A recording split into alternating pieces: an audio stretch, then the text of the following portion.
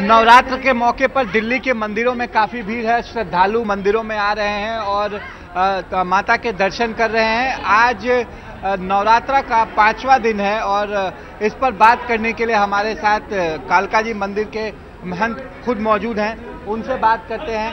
Sir आज पांचवा नवरात्र का पांचवा दिन है। क्या है और इसके बारे में जरा बताइए। करुणा और वात्सल्य की साक्षात प्रतिमूर्ति स्कंद माता की पूजा अर्चना पंचम नवरात्र के अवसर पर की जाती है।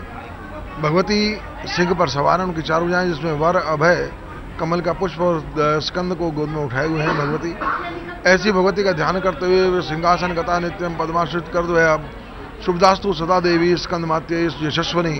तो स्कंद माता की पूजा अर्चना का ध्यान करते हुए ओम ह्रीम श्री स्कंद मात्य ही नम। है उनको धूप, दीप, गंध, निवेद्य आदि से उनका पूजा अर्चन करने से निसंतान दंपतियों को सुयोग संतान की प्राप्ति होती है। भगवती स्कंद माता स्वयं एक मात्र रूप में है। भगवती ने किसी प्रकार का कोई आयु धारण किया है अपने भक्तों को अभय प्रदान करती हुई, भगवती अपने भक्तों को आश्वस्त करते हैं कि जो भी मेरी पूजा अर्चना करेगा, उसको निश्चित रूप से उसकी समस्त मनोकामनाएँ पूर्ण होंगी और साथ ही साथ सुयोग संतान की प्राप्ति होगी।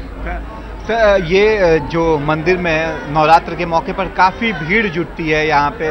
काफ़ी लोग आते हैं, लाखों की संख्या में लोग आते हैं। मंदिरों में जो जिस तरीके से हादसे हो रहे हैं, कल केरल के मंदिर में हादसा हुआ तो यहाँ पर किस तरीके से आप ये इंतज़ाम करते हैं कि जो सब कुछ सुचारू व्यवस्था चले?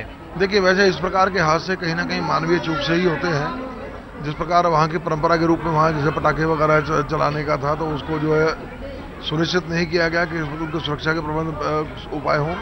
हमारा प्रयास यह था कि यहाँ पर ऐसी कोई परंपरा नहीं है कि जहाँ पटाखे वगैरह छोड़े जाएँ बल्कि एक हर आने जाने वाले मार्ग पर जो फ्रिस्किंग की जाती है डीएफएमडी लगाई गई है सीसीटीवी लगाए गए हैं और दूसरा, इस प्रकार का कोई आयोजन नहीं करते जिससे इस प्रकार की दुर्घटना होने की संभावना बनी रहे।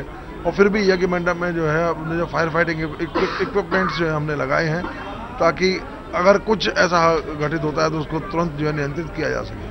चलिए, हमसे बात के बहुत बहुत धन्यवाद। तो दिल्ली के कालकाजी मंदिर में सुरक्षा के पूरे इंतज़ाम है और यहाँ पर श्रद्धालु हज़ारों की संख्या में पहुँच रहे हैं।